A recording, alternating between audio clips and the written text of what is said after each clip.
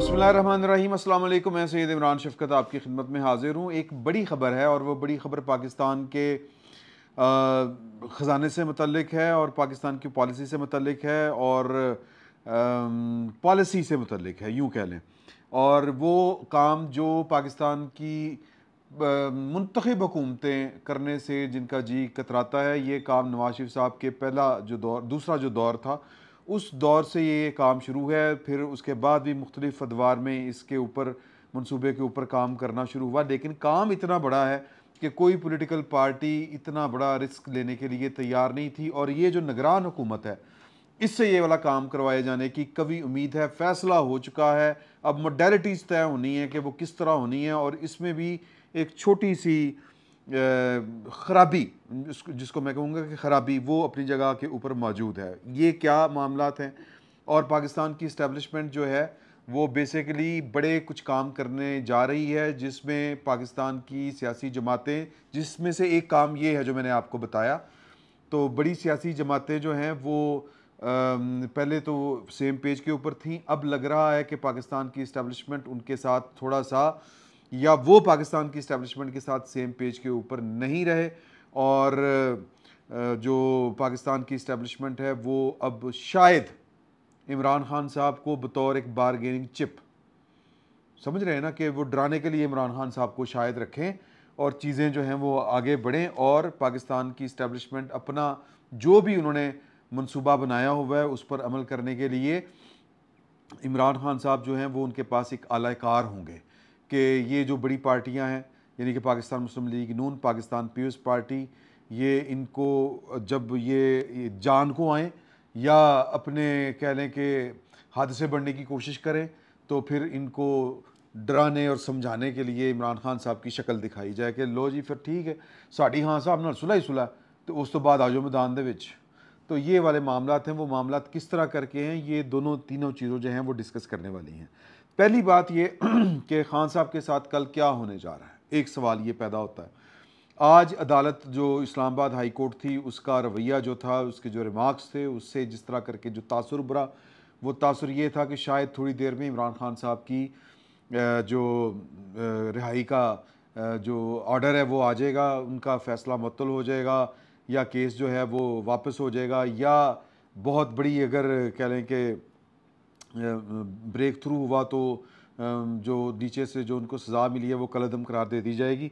तो इस तरह के तासरात मिल रहे थे, फिर उसके बाद अचानक से ये पता चला क्योंकि अदालत और फाजल जो बेंच है वो कह रहा था कि अभी थोड़ी देर में, क्योंकि उनके वकला उनसे मुलाकात करने के ख्वाहिशमंद थे तो उन्होंने कहा कि जी कि वो बात की अभी फ़ैसले का इंतज़ार करें, हो सकता है कि रात तक जो है वो अल्लाह रहमत कर दे। ये मैं मफहूम आपको बता रहा हूँ।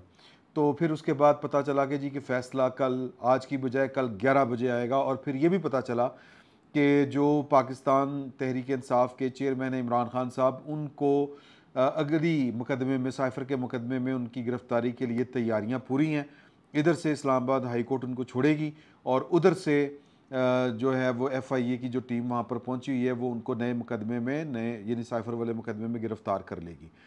और भी बड़ी खबरें चल रही हैं कि जो हैं अपने शाह महमूद कुरैशी साहब, उनके भी इंकशाफात हैं, वो हम बात पहले कर चुके हैं कि उन खबरों में भी ज़ोर आ रहा है कि जी, कोई बड़ी गिरफ़्तारी हो सकती है और वो बड़ी गिरफ़्तारी जनरल फैज़ साहब के मतलब बातें कही जा रही हैं, क्योंकि साइफर वाले मामले में इमरान खान साहब के बारे में भी ये वाली खबर शुनीद है कि मार्केट में फैली हुई है कि उन्होंने भी जो मुद्दा है, वो अपने बजाय वो, यानी उन्होंने कहा कि ये मास्टर माइंड वही थे और शाह महमूद कुरैशी के हवाले से, जो ज़राए वाले से खबरें आ रही हैं, यानी कि इमरान खान साहब ने master mind general Faiz Hameed साहब को करार दिया और जो शाह महमूद कुरैशी साहब हैं, वो भी जो उनसे हवाले से खबरें जुड़ी आ रही हैं, अगरचे वो गैर मुसदका हैं।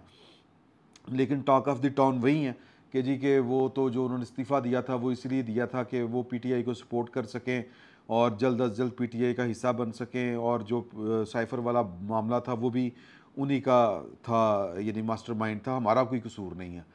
तो इस तरह की बातें चल रही हैं, ये फर्दर क्या गुल खिलाती हैं वाली चीज़ें, ये बात की बात है। फिल वक्त एफ़ आई ए जो है, वो इमरान खान साहब की गिरफ़्तारी के लिए पूरी तरह तैयार है।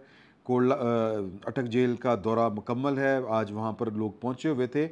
लेकिन पाकिस्तान की इस्टेब्लिशमेंट शायद अब इमरान खान साहब को एक बारगेनिंग चिप के तौर के ऊपर यूज़ करे पाकिस्तान मुस्लिम लीग नून के साथ, पाकिस्तान पीपल्स पार्टी के साथ। Pakistan Peoples Party, Pakistan Muslim League Noon, ये दोनों वो जमातें हैं जिन्होंने इंतबात फरवरी तक खींच के ले जाने में पाकिस्तान की इस्टेबलिशमेंट जो जिसने सोचा हुआ था कि ये हमने दो तीन काम करने हैं, जो ये वाली जो सियासी हुकूमतें होती हैं, ये काम नहीं कर सकती। इसीलिए कानून साजी गई, की गई।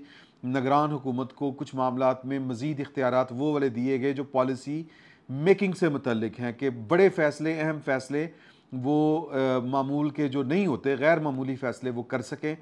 तो उनमें से एक फ़ैसला मैं भी आपको इसके बाद बताऊँगा कि एक फ़ैसला वो कर लिया गया है और वो फ़ैसला है जो पेंशनर्स हैं, वो उनकी पेंशनें बंद करने का फ़ैसला है।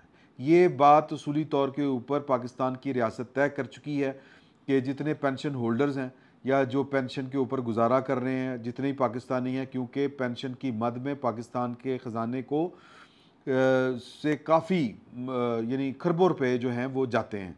अब पेंशन दो तरह की है। एक है सिविल जो मुलाजमीन हैं उनकी पेंशन है और एक है जो हमारे रिटायर्ड फ़ौजी हजरात हैं अफसरान हैं उनकी पेंशन है। दोनों एक वक्त था कि वो डिफेंस बजट से जाया करती थी हमारे जो फ़ौजी भाई हैं, उनकी या जो फ़ौज में जिन्होंने अफसरी की मुलाजमत की, उनकी पेंशनें पाकिस्तान के बजट डिफेंस से जाया करती थी।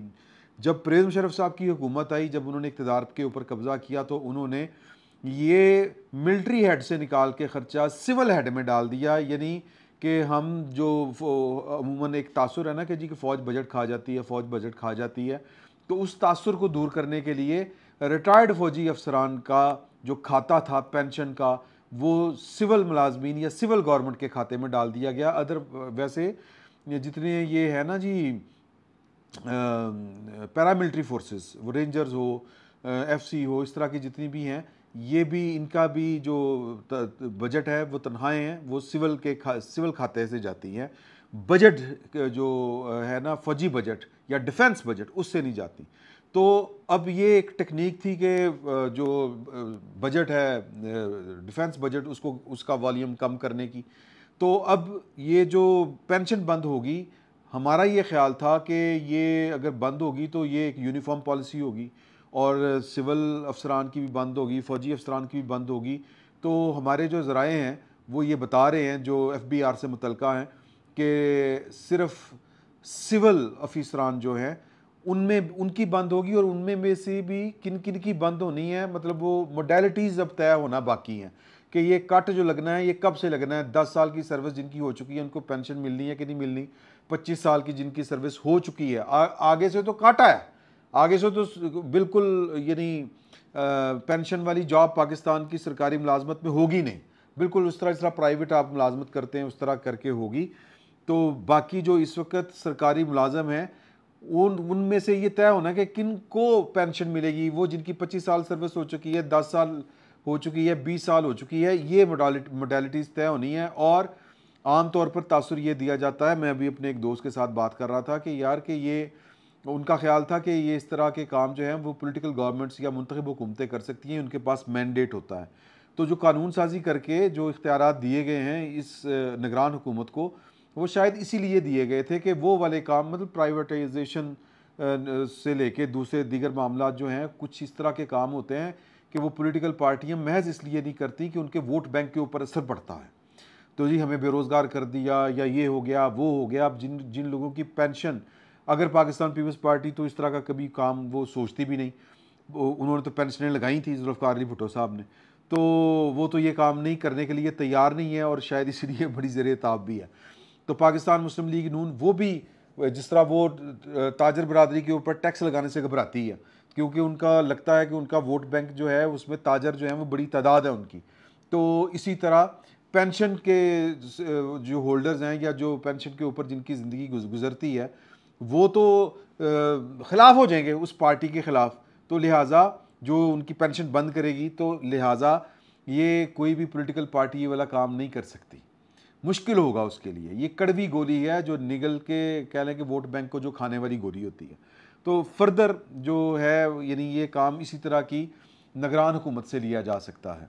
तो फ़ौजी जो है या कह लें कि जो रिटायर्ड फ़ौजी या अफसरान हैं, उनकी पेंशन बंद करना ये ज़ेर गौर नहीं है और ये मैं समझता हूँ कि ये एक तरह से ज़्यादती है।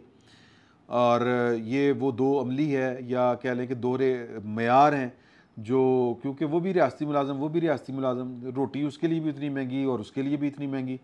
तो अब ये पाकिस्तान के अवाम इसके ऊपर क्या रिएक्ट करते हैं क्या नहीं करेंगे ये आने वाला वक्त बताएगा। तो इस तरह के फ़ैसले होने जा रहे हैं और भी कुछ इस तरह के फ़ैसले होने हैं कि जो आ, पाकिस्तान की जो पॉलिटिकल पार्टियाँ हैं अब उनको लग रहा है कि शायद उन्होंने इंतबात बढ़ा के उनकी मैद बढ़ा के कोई गलती कर ली है।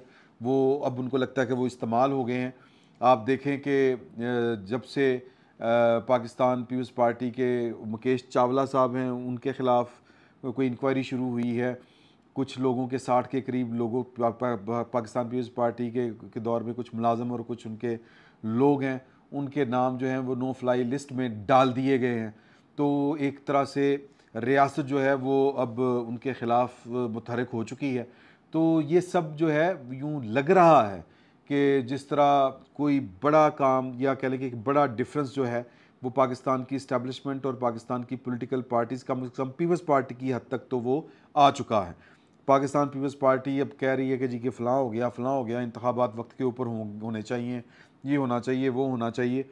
तो एक इख्तलाफी सूरत जो है, वो बनती हुई नज़र आ रही है। अब इन हालात में कुछ सियासी तजिया नगार जो हैं, उनका ये ख्याल है कि इन हालात में इमरान खान साहब बारगेनिंग चिप होंगे। क्योंकि इमरान खान साहब वो इस वक्त कह लें कि मोमेंटम जो है वो बना हुआ है कि वो उनसे ये पोलिटिकल पार्टियों को लगता है कि उनकी ये हालाँकि ग्राउंड के ऊपर सूरत हाल मुख्तलिफ़ हो सकती है। लेकिन पाकिस्तान पीपल्स पार्टी हो, पाकिस्तान मुस्लिम लीग नून हो, वो जब कोई ज़िक्र होता है कि जी के इमरान खान तो फिर उनको लगता है कि उनका, इन पार्टियों का पॉलिटिकल कैपिटल तबाह हो चुका है और इस कमज़ोर पॉलिटिकल कैपिटल के साथ वो इमरान खान साहब का मुकाबला नहीं कर सकते। तो पाकिस्तान की इस्टेब्लिशमेंट जो है, वो आने वाले वक्त में अगर इन दो पोलिटिकल पार्टियों के साथ अनबन होती है तो फिर वो इमरान खान साहब के साथ कहेंगे, हमारी तो सुलह होने जा रही है। हमारा तो इमरान खान साहब के साथ कोई फटा ही नहीं है। तो वो आएगा तो उसने आके हमारे साथ कुछ नहीं करना। वो तो अलान कह रहा है कि मैं की कर लाना जनाब? मैं मैं तो आपको जनाब उनसे ज़्यादा फैसिलिटेट करूँगा पाकिस्तान की इस्टेब्लिशमेंट को। और उन्होंने कई बार कहा कि कुछ बड़े लोग ये समझते हैं कि मैं अगर वज़ी अजम बन गया तो मैं आके कोई उनके उनको चलता करूँगा उनकी नौकरियाँ छीन लूँगा उनके कैरियर ख़त्म कर दूँगा तो मैं इस तरह का कोई काम नहीं करूँगा। ये पाकिस्तान की फ़ौजी इस्टेब्लिशमेंट को भी पता है कि खान साहब कान में डाले हुए भी नहीं दुखेंगे। शर्त वही है कि उन्हें गोद में उन्हें उन, उन्हें गोद उन, अडाप्ट दोबारा से कर लिया जाए उन्हें दोबारा से गोद ले लिया जाए। तो लिहाजा ये बहुत एक कह लें कि आप एक ऐसा हथियार है या एक ऐसा आ, क्या कहेंगे उसको? एक ऐसा आंसर है यानी पॉलिटिकल डायलॉग के अंदर या पावर पॉलिटिक्स के अंदर कि वो ये वाला कार्ड खेल के इन दोनों पॉलिटिकल पार्टियों को जब चाहें चित कर सकते हैं ये एक ख्याल है। तो लिहाजा इन हालात में इमरान खान साहब के ख़िलाफ़ आपको आ, ये कुछ लोगों का ख्याल है ये ख़बर नहीं है ये तजिया है। कि इमरान खान साहब के ख़िलाफ़ हो सकता है कि आपको बहुत जल्द कोई सख्त फ़ैसले होते नज़र ना आए। लेकिन मेरी इतला और मेरा ख्याल ये यानी मेरी इतला के ऊपर जो तजिया है वो यही है कि इमरान खान साहब जो हैं वो पाकिस्तान की सिक्योरिटी इस्टेबलिशमेंट को काबिल कबूल सिर्फ़ इसलिए नहीं है कि वो आ, मतलब उनकी कैपेसिटी का मसला है। उन ना वो काम करते हैं ना काम करने देते हैं ना उनको काम आता है। बल्कि मुल्क का जो बेड़ा गर्क हुआ है, वो इमरान खान साहब की जो कैपेसिटी है या नलायकी है, उसी वजह से हुआ है। तो इन हालात में इमरान खान साहब जो हैं ये लोगों के तजियात मैं समझता हूँ, खदशात की बुनियाद के ऊपर हैं। चीज़ें उतनी गड़बड़ नहीं हैं, जितनी गड़बड़ फील हो रही हैं पाकिस्तान पीपल देखें, नून लीग जो है, वो उतने मसाइल का शिकार आपको मालूम या नज़र नहीं आ रही। तो नून लीग जो है उसका फ्यूचर महज हाँ गड़बड़ जहाँ पर हो सकती है, वो नवाज़ शरीफ साहब के इशू के ऊपर हो सकती है मरीम बीबी के इशू के ऊपर हो सकती है। अदरवाइज़ वहाँ पर गड़बड़ होने का भी कोई अंदेशा नहीं है। तो पॉइंट जो मैं गुजारिश करना चाह रहा हूँ वो ये है कि चीज़ें इसी तरह स्मूथली आगे बढ़ेंगी। बड़े बड़े फैसले निगरान हुकूमत में होंगे और जो अगली हुकूमत होगी, उन आने वाली हुकूमत को इन फैसलों का फ़ायदा होना है। इनसे वो दस्तबरदार भी हो जाएँगे कि हमने किए ही नहीं। सख्त फैसले होंगे, ये पिछली हुकूमत कर गई है अंडू भी नहीं करेंगे और मामला को आगे लेके चलेंगे। और इमरान खान साहब जो हैं जो मुझे तो उनका मुस्तकबिल जेल में नज़र आ रहा है। कुछ लोगों को लग रहा है कि शायद पाकिस्तान की इस्टेब्लिशमेंट उनके नाम के ऊपर कोई ब्लैक मेल वगैरह इन पॉलिटिकल पार्टियों को करे। मे बी फिल वक्त इतना ही। बहुत बहुत शुक्रिया।